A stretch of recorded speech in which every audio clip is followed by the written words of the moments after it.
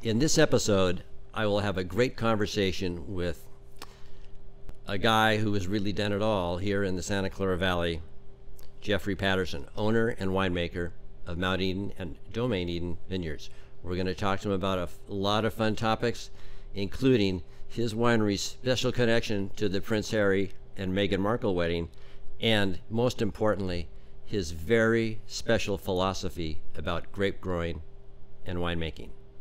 Wine with Bill starts now. Welcome to Wine with Bill, and I'm Bill. Today we have a special guest with us, Jeffrey Patterson, the guy who does it all and has done it all for decades and decades. He is the owner and winemaker of Mount Eden Vineyard, as well as Domaine Eden, situated in the Saratoga Foothill Mountains and in the, most importantly, Santa Cruz Mountains AVA. Jeffrey, welcome to the show. Thank you, Bill. Th- Thank, thank, thank you for being here. Well, let's just put it this way, and we'll get right into it. Your both wineries, but especially Mount Eden Vineyards, have a pedigree, history that goes back and back and back. Whether Yes. it be Paul Masson, whether it be Martin Ray, give us a brief history and take us up to the present. Okay.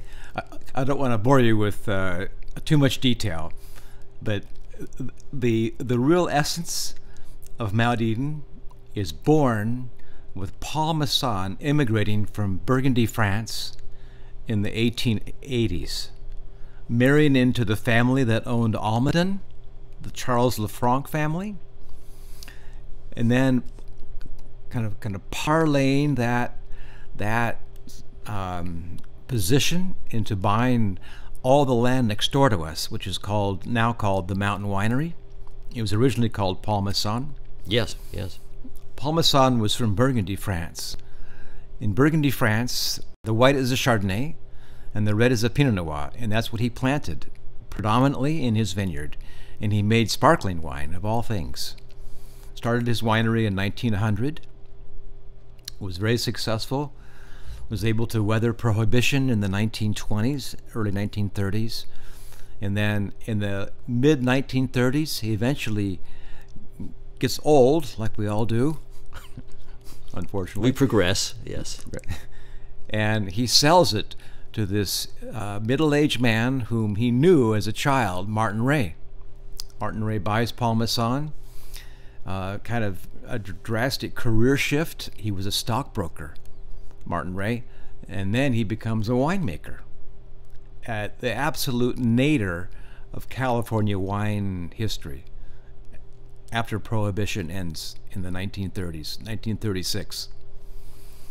In the negotiations that Paul and Martin have to buy and sell, Paul suggests to Martin, he says, You should abandon your, your idea of buying my place. Instead, you should go next door to the mountain to the north, a little bit higher up, and plant your own vineyard, make your own wine, do your own thing.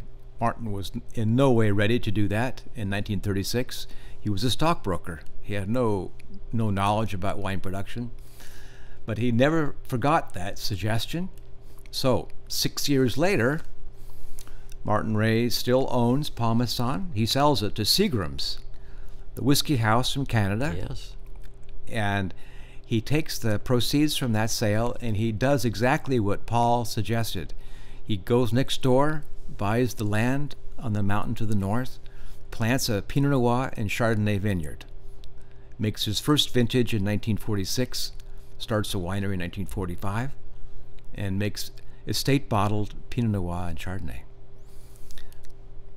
So, to further extend the history, um, Martin Ray makes some brilliant wines, some absolute horrible wines, but he makes a lot of wines. He makes small amounts, but he makes wines every year from his vineyards. And then in the 60s, he brings in partners.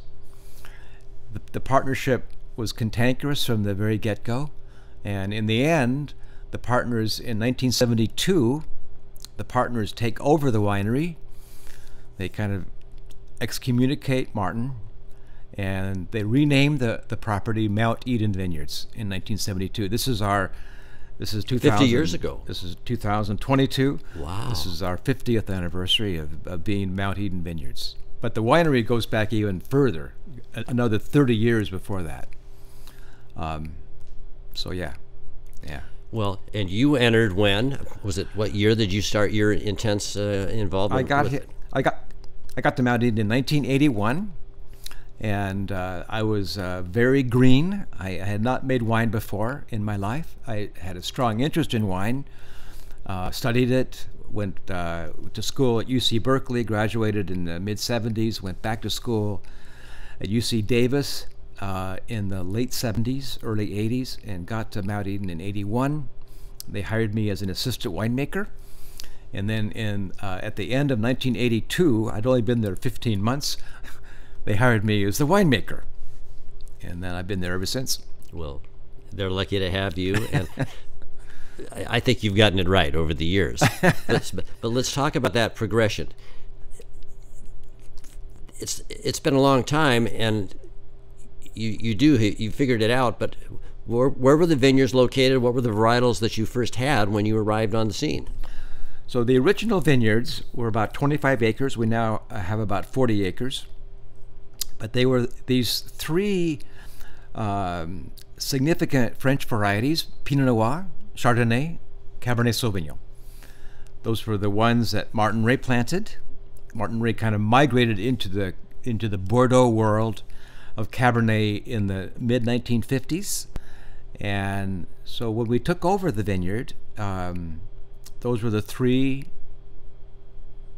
stalwarts, and they still are. If you, as you can see in this lineup, uh, we still make the same three variety. We haven't ventured off into You haven't any- wavered into Malbec. You haven't gone into some other other stuff. No, we're not. We're, we're more trying to perfect what we do. We- We're not trying to reinvent the wheel. And we've expanded the vineyard somewhat as we could, but the land that we live on and work on is very, very steep. So we have a huge amount of land, and, which is typical in the Santa Cruz Mountains, and we have very few acres planted. We have about 300 acres of land at Mount Eden on this mountaintop, but only 40 are in vineyards because there isn't enough ground that's flat enough to farm. And I think this, the steepness, as well as the other aspects of the terroir, is one of the main elements of the Santa Cruz Mountains AVA. Yes. Correct? Yeah. The Santa Cruz Mountain AVA is unique in the world because it's based on elevation. It's not based on soil type. It's not based on political boundaries. It's not based on watershed. Uh, it's based on this specific mountain range, and you have to be above the fog. And if you're above the fog, you're in. And you are because the elevation We're of in. your vineyard is, is what, 2,000 or so? the line varies around because it's it's a, it's it's a massive appellation in terms of land mass, but um, it's very small in terms of vineyard acreage. But generally speaking, the boundary is but between 500 to 800 feet. So if you're above that that barrier, above the morning fog, then you're in the appellation. Good. Good. Yeah. Well, I know that you pride yourself as a grape grower, let alone a winemaker, but what's your philosophy or philosophies that are help put all this wonderful wine into these beautiful bottles and for everyone to enjoy? I've always told people, um, you know, winemaking, you know, is a fairly simple act. Um, you know, it's it's been practiced for thousands and thousands and thousands of years, all over the world. It's not complicated, but if you want to make wines that are uh, distinctive, long-lived, um, really fun, you know, uh, and especially long lived, you got to pay a lot of attention to the details. And that really starts in the vineyard, ends in the winery. But, um, you know, taking a very simple process like fermentation and paying infinite attention to the details of it. Um, that's that's kind of where I where I'm at. You sound in your all your practices, whether it be grape growing or the winemaking, very assiduous. You, that you, it's something that's very necessary to get it right and to get the most out of your grapes. I'm I'm lucky as a winemaker because I work the same land every year. I don't we don't change vineyard sources. We we have our own vineyards, we have our estate vineyards and they you know produce every year, you know, in various amounts.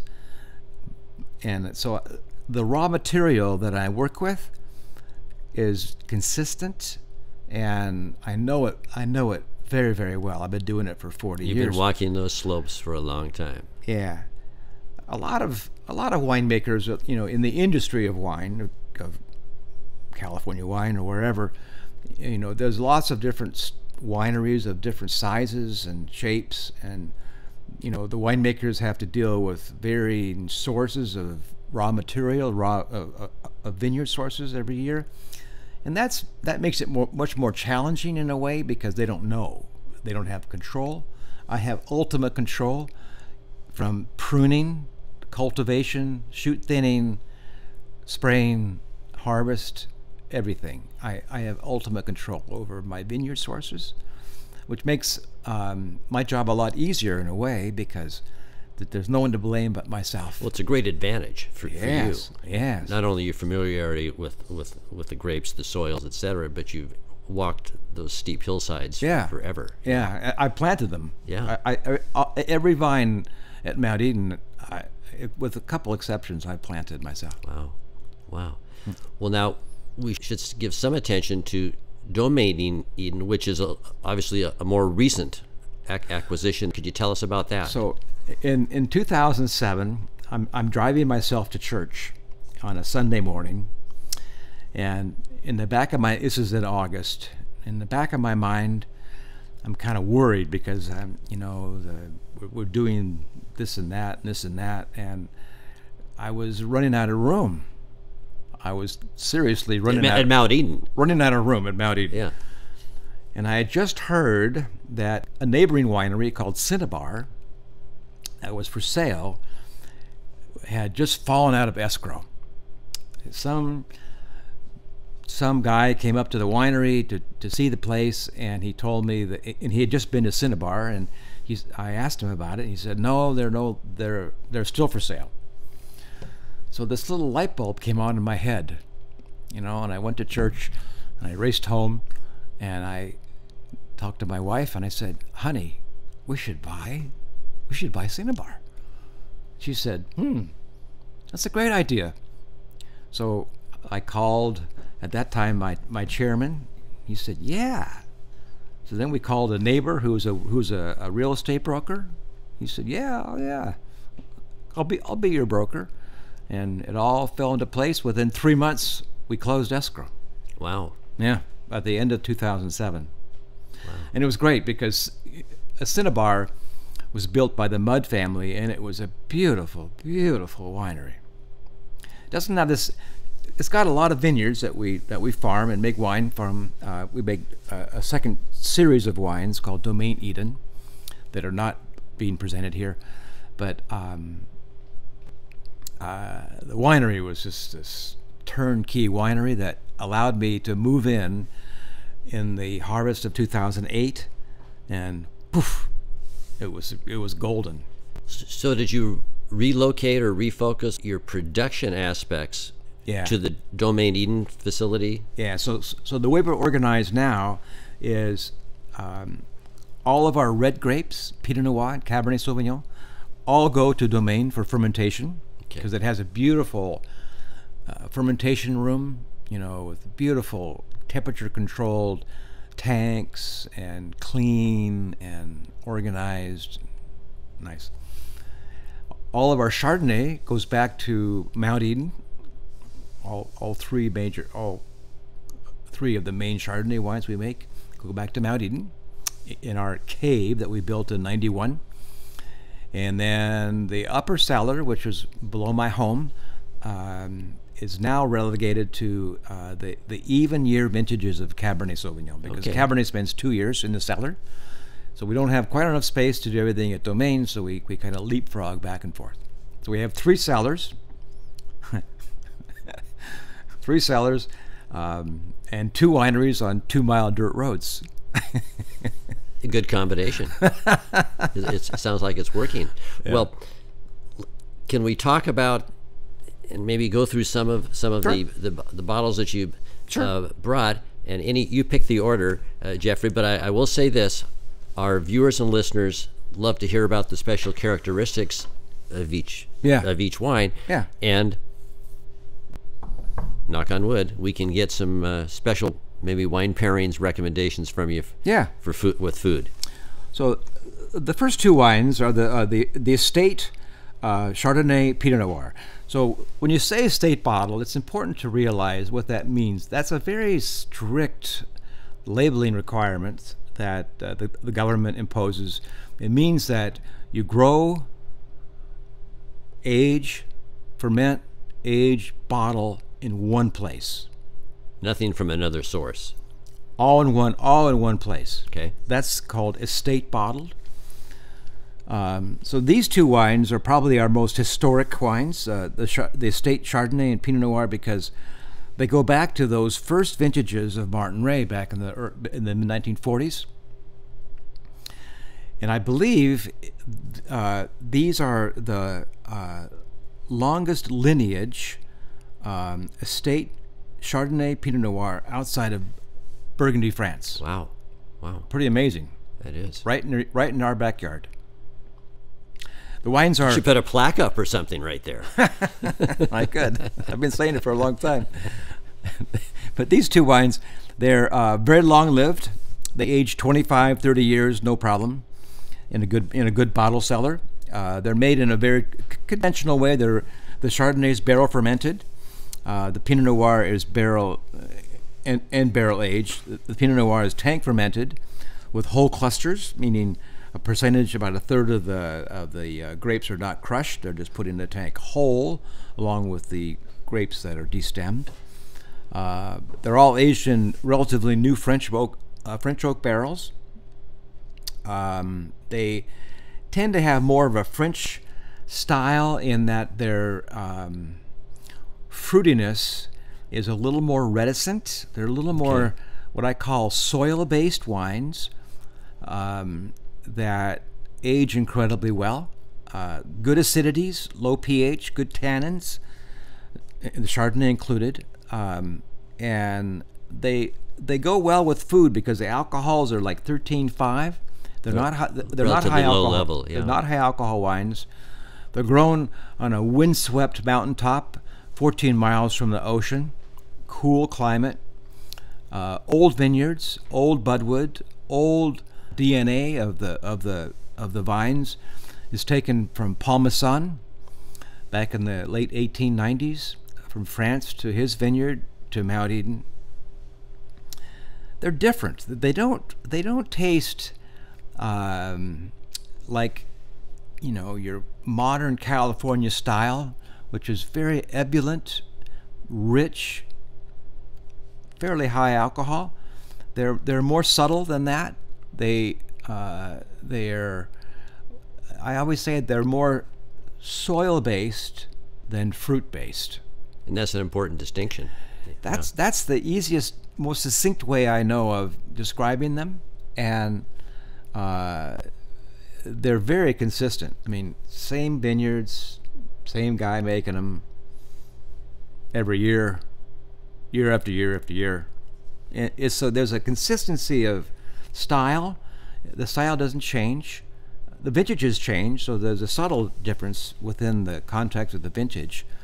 But the overall style of the wine is very consistent. Good. Well, that's that's good. Well, let's take a quick break here. I'm having a great conversation with Jeffrey Patterson of, of Mount Eden Vineyards and Domaine uh, Eden. And when we come back, we're going to talk about some of these other uh, beautiful wines and uh, what's inside them and the bottles on the outside. And we're going to touch base with some other topics. Uh, he has got a special, special project called the Tanaka Project. We want to talk to him uh, about the 2021 harvest, how it went, what, what things are looking like, and what's in the, his vision? What he, what's he predicting for Mount Eden and, and Domaine Eden in the next five years? We'll be right back.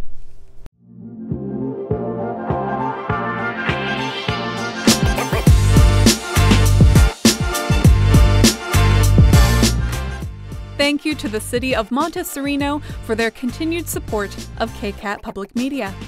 The City of Monte Sereno has enabled KCAT to inspire, educate, entertain, and inform our community through the magic of television and digital media for over 38 years.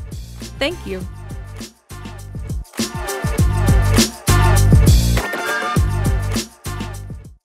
We're back, and we have two more bottles with us here. Jeffrey, you want to take us through which ones in your order and give So we'll us do the the the, the uh, Tanaka project first. Uh, Ron Tanaka was a, a Sacramento State English professor who befriended us in the 90s, in the early 1990s, and he be kind of he kind of became our artist in residence, you might say. He loved to do art, various uh, photography, um, poetry, uh, paper cutouts, all, all kinds of different very creative. yeah, very very creative man. And um, he unfortunately committed suicide eventually, and um, you know it was a very sad time, and and we've always kind of had Ron in the back of our minds because of his importance to us, you know, and he did all this art and poetry that focused on Mount Eden. So to kind of uh, celebrate his life, we decided to do this, which is uh, something we've never done before. Um, about uh, 25 percent or 25 dollars, I think, maybe 25 percent of the of the sale price of the wine goes to uh, suicide prevention Oh, great cause. Great cause. here in Santa Clara Valley. And uh, it's a small bottling. I, I, I select three barrels. I don't do it every year. I, I've done it now. I did it in 17. I did it in 19. I'll do it in 21 vintage. So every other year, basically. And it's uh, about 75 cases. Uh, and it's three barrels that I like. You know, It's I a Pinot? It's a Pinot Noir Okay. from our state vineyards Okay. and it um, you know it kind of gives awareness to the cause and it's a really nice wine Uh, in addition it's it, it's the regular pinot noir is uh, an assemblage of all of our pinot vineyards which are about five in number whereas this is only one vineyard so it's rare in that respect it's only a singular you know the three barrels come from only one vineyard the Cabernet Sauvignon is um, a Bordeaux blend. It has uh, it, Tell our viewers and listeners what do you mean by a Bordeaux blend? so the on the on the front label of the wine is the what we call in French the cépage. So it's 80% Cabernet Sauvignon, 15% Merlot, 3% Cabernet Franc, and 2% Petit Verdot. So that's that's kind of a what on the on the left bank of the of the river uh, in Bordeaux. That's called a left bank blend. Um, primarily Sauvignon Cabernet. That's why it's primarily yeah. Cabernet Sauvignon, and that's why it has Cabernet on the label. But um, we make it. Um, it's become probably our most sought after wine. It's unusual. There's in California, if you if you look at Cabernet Sauvignon production, there's only two wineries in the entire state of California, north to south, that grow this type of wine, estate bottled, Cabernet blend or a Bordeaux blend, serious, ageable, long history of production on the coastal mountain range at elevation two. Mount Eden and Ridge. Ridge. Yeah. And we're neighbors. We're not close neighbors, but we see, we see each other. They're on the mountain to the north. I'm on the mountain to the south. So it's interesting. So this is a cool climate Cabernet. It has a lot of the uh, kind of uh, Bordeaux kind of characteristics of high aromatics, low alcohol, long long lived wine that you know Bordeaux wines are known for.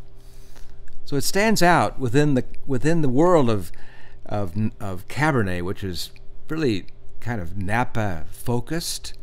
Everyone thinks of Cabernet in California as being the model is Napa Valley. This is not Napa Valley. This is uh, on the opposite end of the spectrum. Lower alcohol, uh, more uh, high aromatics, um, uh, just a whole different whole different world. That's you're, our Cabernet. You're not succumbing to the what I'll call Robert Parker wine. No. The, the fruit bombs of the 80s and 90s. no, no. This is very traditional and classic. We, we've never embraced Parker. For whatever reason, I'm kind of glad. well, Bob, if you're listening, you know you're a big guy. You can handle this. You can handle this. Uh, well, so if it's a traditional Bordeaux, Yeah. give me some classic food pairings uh, that's really just going to make it make it sing here. Cabernet, because it has a high level of tannin, I've always felt that the, the perfect marriage has a lot of animal fat. So red meats with a lot of fat typically work well because tannin uh, and animal fat kind of have a nice synergy, you know, on the palate. Yeah. So yeah, it's a red meat wine. Okay. Yeah. Yeah. Any other possibilities on With the Cabernet? with the Cabernet? Well, it depends on how, how early you drink it. You know, uh, I'm you know kind of a spoiled child. I, I drink them old. Let them so let them smooth out with some so balance. You know I, I I I drink them with risotto. I drink them I drink them with uh, pasta dishes. I drink them with poultry. I don't drink them with fish, um, but I drink them with a wide variety of foods, typically. Yeah. Well, But but but the, but the best combination is with serious red meat. Yeah. okay. Yeah. Well, let me go into another area because I'm getting way too hungry listening to you. uh, Domaine Eden kind of sort of made some history, and there's a connection between that winery, your wine uh, that you made, uh, and the royal wedding of Prince Harry and Meghan Markle. Is that correct? That's true. Give us the backstory. So so um, about a week after the that wedding occurred, there was an article published in the in the London Times, and the writer kind of chronicled the the, the dishes for the for the wedding dinner. Before the wedding occurred, Harry and uh, uh, his wife um, said, "We're going to choose two wines for dinner, just two.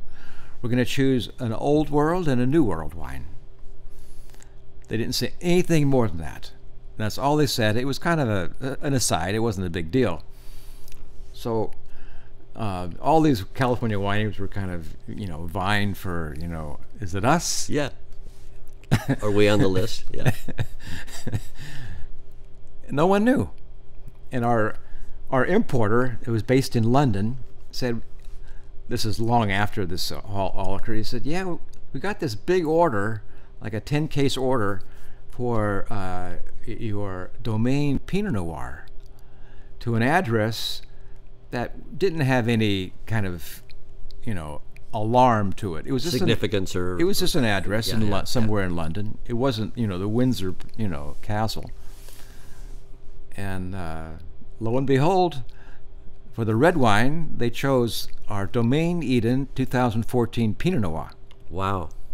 And for the white wine, it was a white Burgundy from Olivier Leflaive. Wow. Yeah, not not a very fancy wine, but but, but good, you know, good.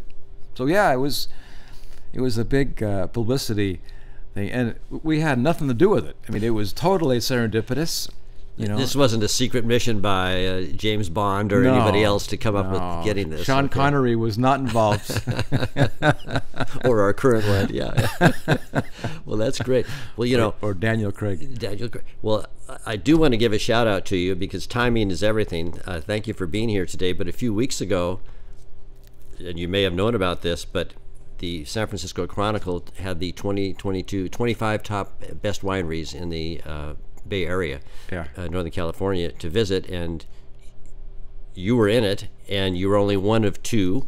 Uh, in the Santa Cruz Mountains AVA, obvi- the Ridge was the other one. Yeah. Uh, but hats off to you, and uh, they were absolutely nailed it on the article. The stunning views, the stunning wine, the history with with the winery, and they really liked just what you've already said today, the consistency and balance and making wines that are that last. Yes. They don't have a short shelf life, and No. they, they evolve, and, and evolution is good, and, and, and progression. So, so so so hats off to you. Thank you.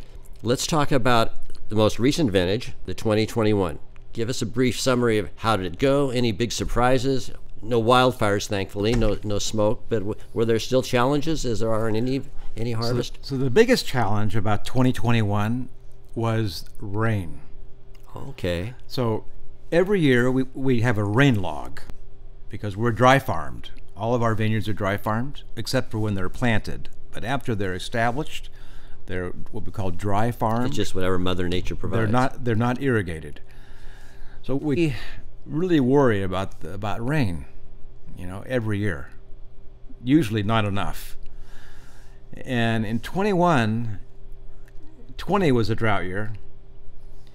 21 was the most severe drought year we have ever rec- our rain logs go back 70 years and we've never had uh, a rain year like 21 with so little we had 14 inches of rain total normally we have 35 we had 14 inches.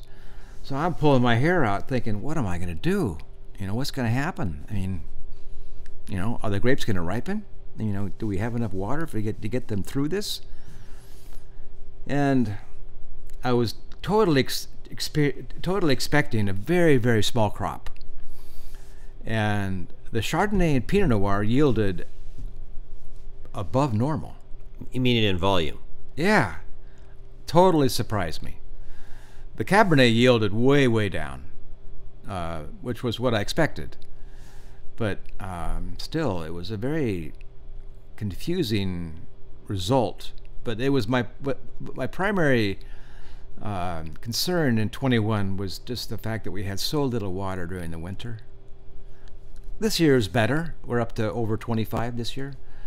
Um, but um, it, it was actually a nice vintage. You know, the the disease pressure was very low because it didn't rain during the spring. So the mildew pressure, which is always a, a concern, was very, very, factor that you very, very, want, yeah. very, very minimal. Um, and the, the crop didn't ripen super early. It, it it, it it wasn't late, but it wasn't super super early, which was what I again what I was expecting. So it was actually a very good vintage. The, the wines um, in this in the barrel, they're all in the barrel now. Um, very concentrated, which is what you'd expect from a drought year. Very big wines, very forceful, you know, uh, emphatic. Um, they, they taste good. I mean, I, I'm I'm happy. Will I'm- the Chardonnay be the first one to go into the bottle? yeah, so we typically will bottle Chardonnay in June um, of the previous vintage, Cabernet Sauvignon of the of the previous second of the so it's, it's two years old. Two years back. Two years old. So that'll be next in the month of July, and then in August before harvest we'll do the Pinot Noir, which will be the, the from the previous year's vintage. Uh, vintage. But yeah, 21. I, I, in talking to other winemakers about 21, I think everyone's pretty happy, and I think everyone's surprised it's it's it's as good as it is. And on top of that, in 20 we had all these forest fires, and everyone was a lot of wineries in Santa Cruz Mountains that were more closer to the fires in in Ben Lomond and Boulder Creek. They didn't make any wine. They, they couldn't do anything. They couldn't even. They didn't make. harvest. They didn't Wow. even. They didn't even pick the grapes. Um, so we were lucky. We we kind of skirted that problem in 20. So there was no forest fire pressure, which was great. That, that was a big a big relief. Yeah, but yeah, 21 I think is surprisingly good. I mean, given the fact that it was such a severe drought, the wines are pretty strong. Well, you sound pleased with the early returns. Let's put it that way. So far, so good. Well, yeah. good, good.